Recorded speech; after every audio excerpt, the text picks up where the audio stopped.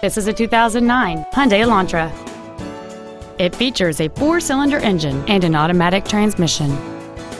All of the following features are included. A low tire pressure indicator, heated side view mirrors, a keyless entry system, tinted glass, disc brakes with an anti-lock braking system, front airbags, child seat safety anchors, and this vehicle has fewer than 19,000 miles on the odometer.